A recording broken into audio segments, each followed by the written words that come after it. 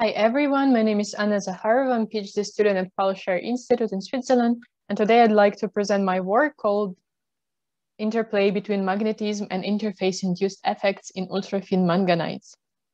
First, I'm going to talk about LSMO, lanthanum manganite, in this doping 0.7, 0.3. So LSMO is a very famous material which has been widely studied over the decades, particularly in this doping due to Curie temperature, which is higher than the room temperature, and high spin polarization, LSMO is a very promising material for spintronic application. However, previous works report dramatic reduction of magnetic and metallic properties of LSMO in ultra-thin limits that limits LSMO application. As you can see here at the figure of magnetization versus LSMO thickness given in unit cells, magnetization drops dramatically as a function of thickness, and already at three unit cells is not magnetic at all. It has been attributed to a magnetic dead layer. Its critical thickness is varying from 7 unit cells to 3 unit cells, depending on the layer interface with LSMO. However, LSMO magnetism can be rescued. It's been found experimentally that in heterostructure based on ruthenates and lanthanum manganites, lanthanum manganite remain magnetic down to one unit cells, as it's shown here at the figure for of the magnetization for three layers, SRO, LBMO, SRO, LBMO, SRO, LBMO, SRO remain magnetic down to two unit cells. Strontium ruthenate is ferromagnetic and metallic with Curie temperature around 160 Kelvin in bulk, and it undergoes thickness-driven metal to insulator transition at around four unit cells. It's further, further confirmed by XMCD at manganese H by Piamonteze that even one unit cells of LBMO can be magnetic sandwiched between two strontium ruthenate layers, and it showed uh, remanence even at 130 Kelvin. I'll go back to XMCD data later to show my own result. Different possible explanations of magnetic dead layers effect have been discussed in previous studies. In this work, we aim to investigate the link between charge transfer and orbital reconstruction at LSMO-SRO interface in comparison to a single LSMO layer to understand how LSMO benefits from proximity layer. In order to do that, X-ray absorption resonant techniques were used. The difference between circular left and right polarized light is linked to a magnetic spin and orbital moment via sum rules, so we can investigate magnetic behavior of the thin films. An X-ray linear dichroism was used to identify the impact of orbital occupation on magnetism. So the difference between linearly, horizontally, and vertically polarized light. So the light polarized along AB or C axis of the samples show the difference in d orbital occupation. Qualitatively, if L2 points up, then 3z square minus r square or out of plane orbital is more occupied. And if L2 points down, then in plane or x square minus y square orbital is more occupied. In order to study the difference between two interfaces, between LSMO-SRO interface and single LSMO interface, bilayers and single-layer film were prepared by pulse laser deposition. Films were deposited on TiO2-terminated strontium titanate. LSMO thickness was varied between 2 and 15 unit cells. SRO thickness was varied between 3 unit cells, so it's non-magnetic and non-metallic layer, and 20 unit cells as a ferromagnetic and metallic layer. When I talk further about experimental results, samples will be labeled as following. First number indicates LSMO thickness, and the second number indicates SRO thickness. And when it's indicated as zero, it means that it's a LSMO deposited directly on strontium titanate. So it's a single LSMO film. I start with magnetic properties to demonstrate if the bilayers are really ferromagnetically more stable than a single layer. In order to do that, let's uh, look at the difference in XMCD at L3 and L2 edges of manganese as a function of uh, temperature measured in 50 millitesla filled after saturation at 6 Tesla. So this difference is kind of a simple sum rule. So four unit cells, LSMO and STO for zero is non-magnetic, while four on three is magnetic, as well as four on 20 and two on 20.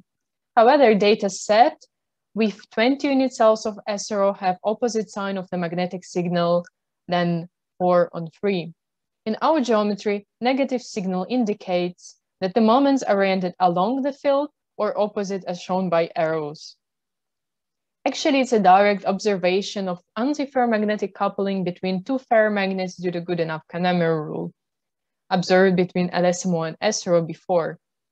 Uh, we do not see such a coupling for 4 on 3 because 3 unit cells of SRO is non-magnetic. Curie temperature for the bilayer seems to be around 150 Kelvin. That is higher than what was observed for single LSMO film with similar thickness uh, such a TC increase and enhanced magnetism allows us to conclude that magnetic properties have been improved dramatically.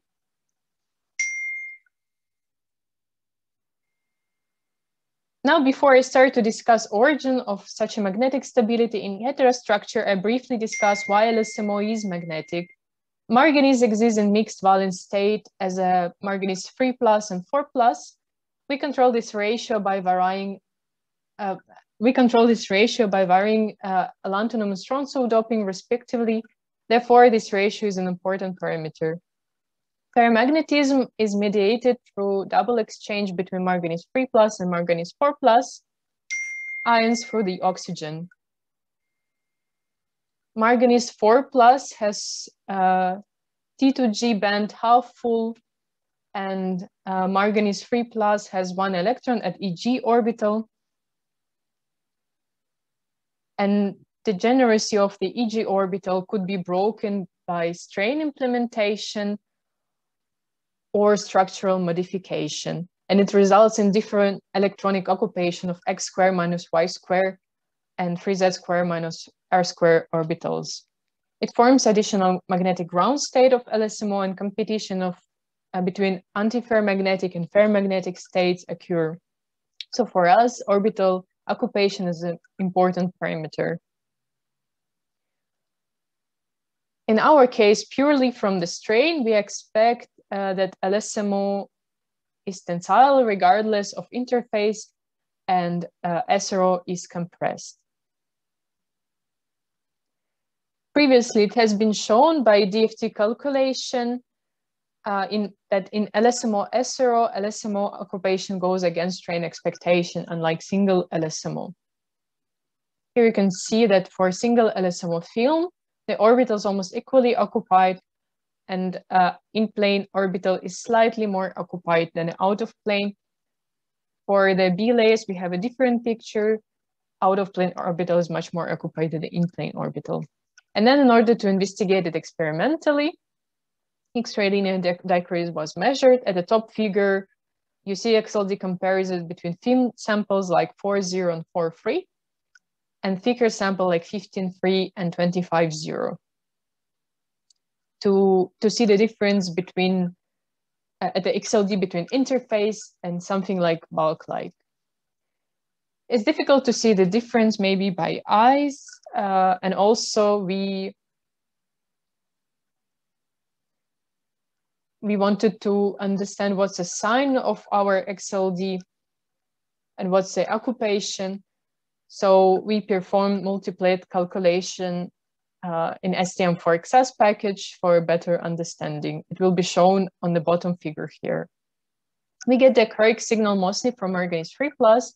Therefore, we simulated two spectra when single electron at EG occupies either out of plane or in plane orbital and then we feed our experimental data as a linear combination of those two. From the fitting, we see that the peak single LSMO and peak LSMO and SRO behave differently. So it's a dark, uh, so it's a light blue and light red colors here. While 15.3 has out of plane preferential occupation, 25.0 shows in plane uh, preferential occupation. So it sort of agrees with DFT calculation. And for the ultra-thin LSMO 4 unit cells, we have a different picture here. So for both of them, it's dark blue curve here. In order to see a bigger picture and to quantify all XLD results, I will use X parameter. It's calculated from XAS intensities for polarized light along C and AB axis it expresses Hall's ratio at the EG orbital. It will be plotted as a function of LSMO and SRO thicknesses. First, on the plot, you see the values predicted by DFT calculation for single layer of LSMO and for the bilayers. Now let's look at the LSMO deposited on strontium ruthenate. Here you see two series, LSMO deposited on three unit cells of SRO and SRO, uh, LSMO deposited on 20 unit cells of SRO. And you can see that they behave very similar. If we add LSMO single layer as a function of LSMO thickness on top, it's a red triangle here, we see again similar behavior. However, for the fixed samples, for example, here, uh, we see that uh, LSMO single layer matches DFT predictions as well as the bilayers. The picture is different for four unit cells deposited on SRO or without SRO. Four unit cells has similar orbital occupation regardless of strain.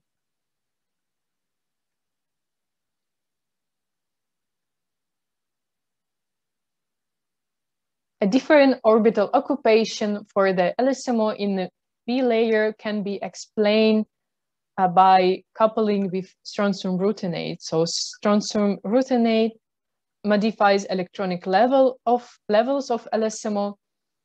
It couples manganese spins parallel to each other in the interfacial layer, recovering then to a regular ferromagnetic structure.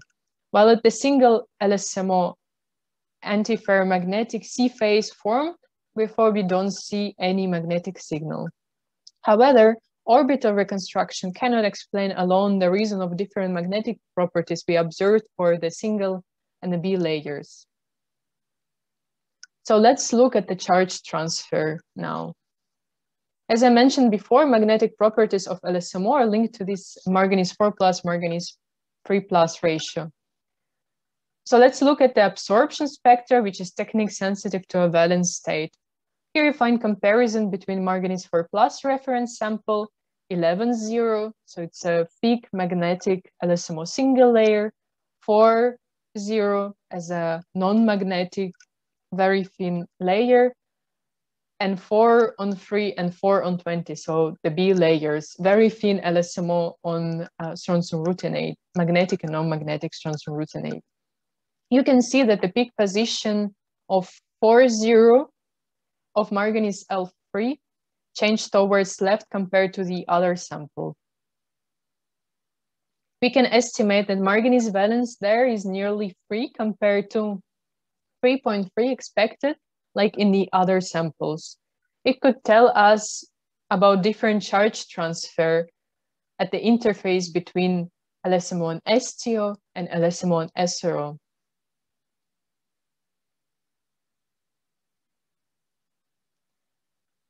At 11.0, probably due to a probing depth limitation, we do not see uh, that much of the interface. However, at 420 and 4.3 is the case, so we see the interface.